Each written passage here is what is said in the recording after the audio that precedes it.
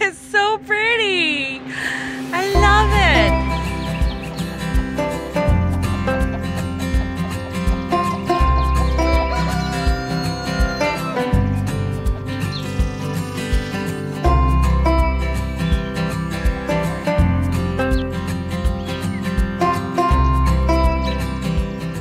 As I begin fine tuning things out here, I am measuring out where the beds are going to go. And I'm filling in some of the low spots with the extra mulch that we have. And this mulch is really good. It's it's a good size wood chips and in some of the loads that we got, there was a good amount of leaves in it. So we have layers of leaf mold even mixed in with the wood chips in certain areas. What this is going to do is create the foundation of a perfect garden.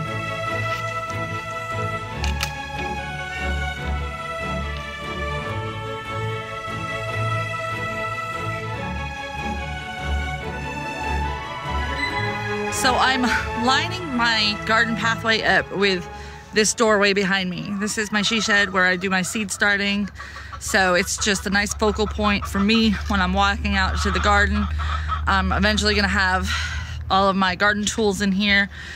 So lining it up, I want my middle walkway to be big enough for the biggest wheelbarrow we have so that we can bring in loads of soil or mulch whenever we need to. And these cedar beds are going to be built on their sides. So we'll fill those with compost right on top of the wood chips. It's basically like a modified hugelkultur meets back to Eden raised bed design. And I think it's going to work out really well for us. We have the more shady side of the garden that if in the future we want to build some raised beds in this area for things like lettuce and kale. it is so hot out that the boys taken their shirts off and have decided to start spraying each other with the hose. Fun times. It's about 76 degrees, but it feels like 80. All right, and then on this side of the garden beds, we have an additional area that's mulched. So we can also grow and expand our garden beds on that side as we get more ability to do so. But starting out with some basic shallow raised beds. I prefer to do at least a foot raised bed up to two feet is my preferred because it's easy to sit on the edge of the bed and garden. But for now, I only have a little bit of wood, so I'm gonna use what I have and make it work. So I'm gonna continue filling in mulch over there. So I'm collecting it from there, putting it over there, and making that edge deeper so that we can have raised beds continuing along that way. Making good progress.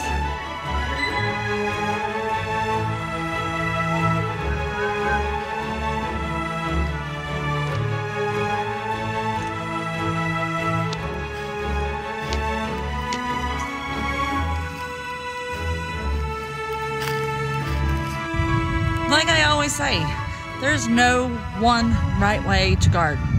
Use the resources you have, build the best foundation you can have, and by all means, getting the best soil is the best thing you can do. So this week we are getting a whole entire truckload, 15 yards of organic compost dropped off. So we got to get these beds put together and ready to start shoveling because we got to fill them all by hand.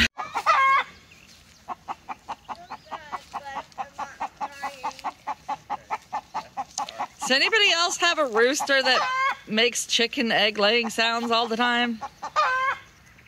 Weirdo. Wow, Ryan, you are working at it today, aren't you?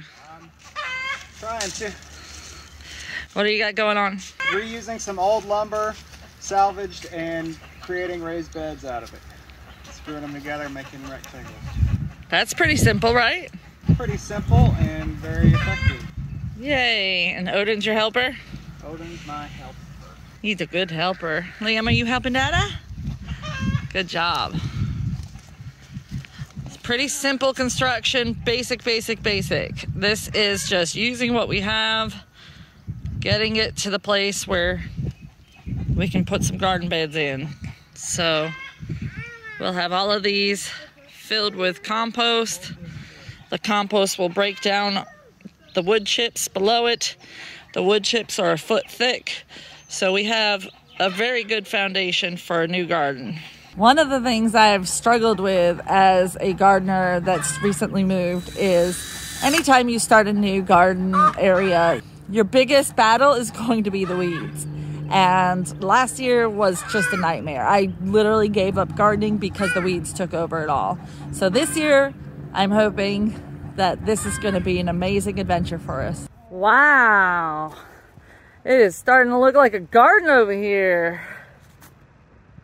What? We have garden beds, guys. Got six made so far. We got a little bit of extra work on the other ones. Yeah, I just need to cut some more end pieces, but yeah, we're, we're getting close. Awesome. Look at that, y'all.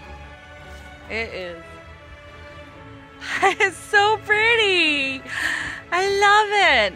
It has been a while since I've been able to have a garden that was built to my standards and to what I wanted. And this is the first time in probably 10 years that I'm actually going to be able to do a garden the way that I have been able to do it in my profession as a professional gardener for other people this will be the first time that I'm really applying all of the skills that I have to my own garden because I actually had the materials and resources that I needed to do it.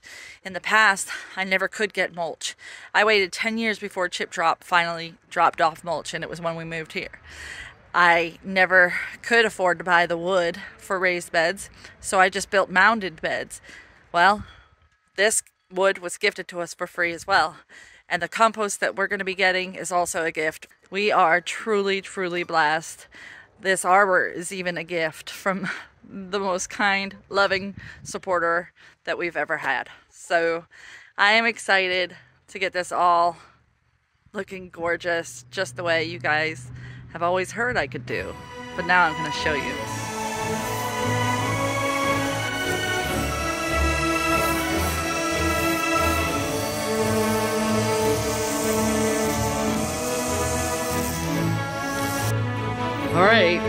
We have all of the beds put together now, and I'm standing back against the house at my kitchen window so that I can see what the view is like to see if we have the beds lined up correctly. Looks like we've got it done well.